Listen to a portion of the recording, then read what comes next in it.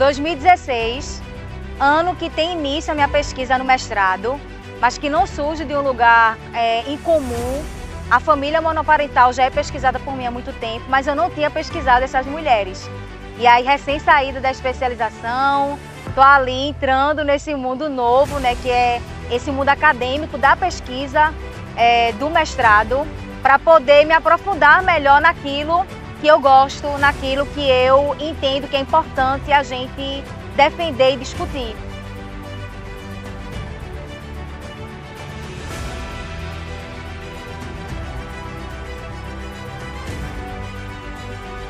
Eu resolvi lançar o livro aqui em Moreno, porque é o lugar que eu moro.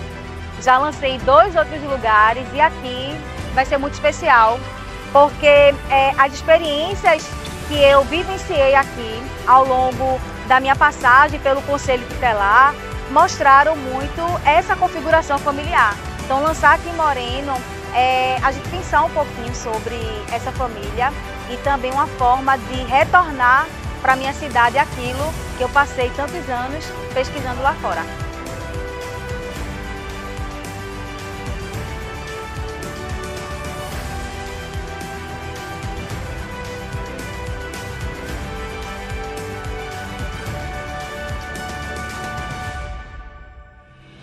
O lançamento do livro será na Câmara Municipal de Moreno, justamente porque é um lugar central para a gente poder estar tá utilizando esses espaços. Né? A Câmara é o lugar do povo, é a casa do povo, para que a gente discuta sobre literatura, sobre arte. Então a gente pensou na Câmara por ser um lugar bem central.